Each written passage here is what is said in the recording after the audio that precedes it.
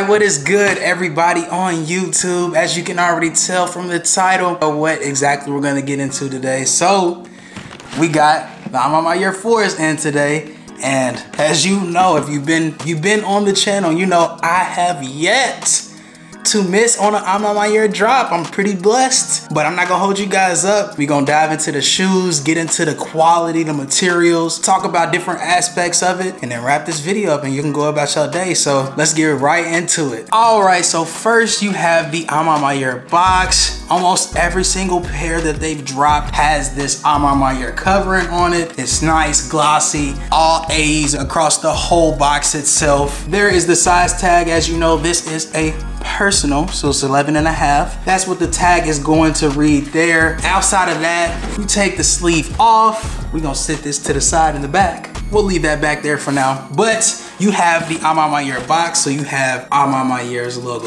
there. Other side, just Jumpman Air, A Ma Maniere.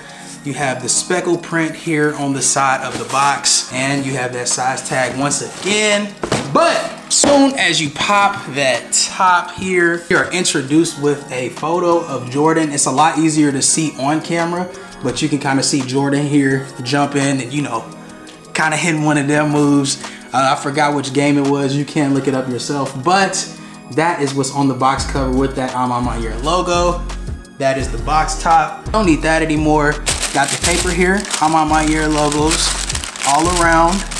And when you flip it back, you have A Ma Maniere 4s. All right, so we have the A Ma Maniere 4s outside of the box. And hopefully with this lighting, you can kind of get a grasp of how the color is of the shoe. Kind of hard to tell because in different pictures, this can seem like a brown, but it is like a very, very brownish purple. The name of the shoe is Violet Ore because it does have hints of pink or purple, kind of like how the Air 3s had it on the midsole there, like where this would normally be, it had that color embedded on the side. But this is the Air 4s. You have a complete suede overlay of the shoe. On the hang tag here, you do have this my tag. It says that with the Jumpman logo on the front and the backside so it's gonna look like that on both sides. The shoe itself the suede is in really good you can kind of tell some of the wrinkles and stuff like that outside of the box there. You may not be able to see it on camera but kind of smooth to the touch. Nice material in my opinion. It may vary just dependent on the quality control of other people's pairs but I did get a decent pair. On the side of the shoe here you see this pin here. That is to have that A Ma Maniere logo right there. So that is on both of the shoes and the back heel which I feel like is a nice touch.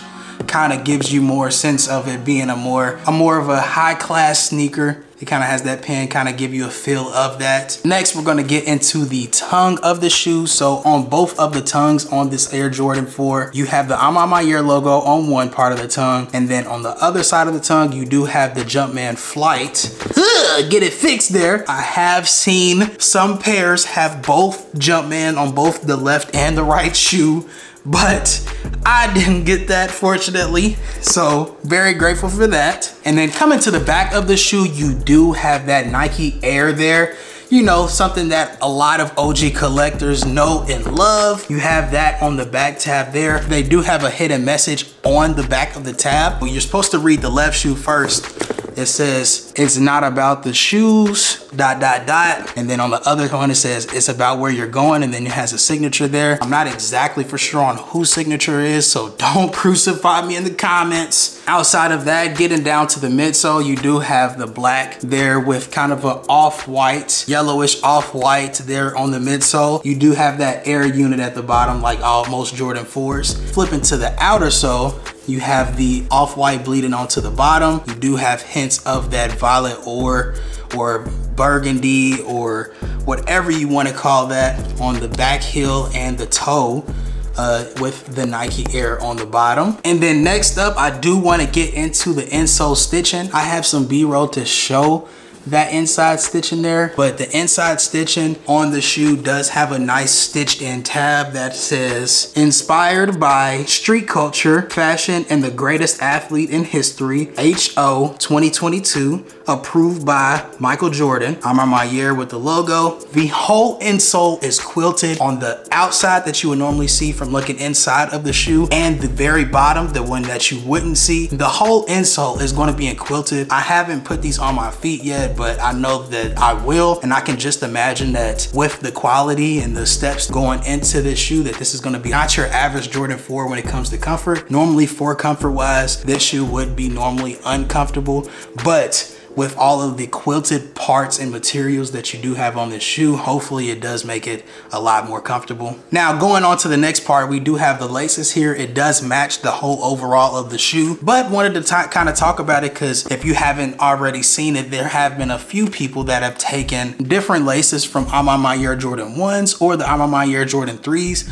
so it can match that off-white tone to match the laces. Y'all let me know in the comment section if that is something that you would do to this shoe if you were to get your hands on it. I feel like it's not a bad idea. Might just do it myself. Who knows? I have to try it out. I'll probably do one of each. One cream laced and then one with the original laces that it comes with. But speaking about the other Jordan silhouettes I have, I do have reviews on the channel for the threes. Me and my wife hit on that pair. For retail, you have the Jordan 1s, the Jordan 2s, the Jordan 3s, and the my Air Jordan 4s. Out of all of the four, where do you have this one stacked at? I would say this is probably gonna come second place for me. If I was to go in order, just based off of the Jordan 1 through 4, because they do have other silhouettes, but just from Jordans 1 through 4, made from ah on my Air, I would say number one, the three has to be at the top. I feel like it's the most wearable. The A Ma Maniere 4s would definitely be my number two. Honestly, it may be an unpopular opinion. I would probably take the ah A Ma Maniere Jordan 2s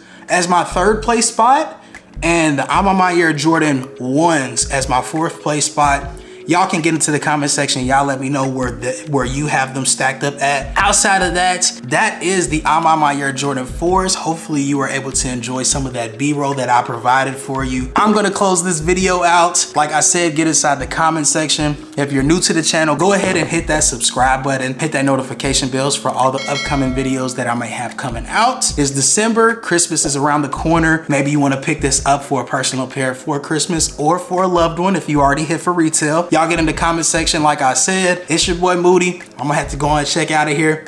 Peace.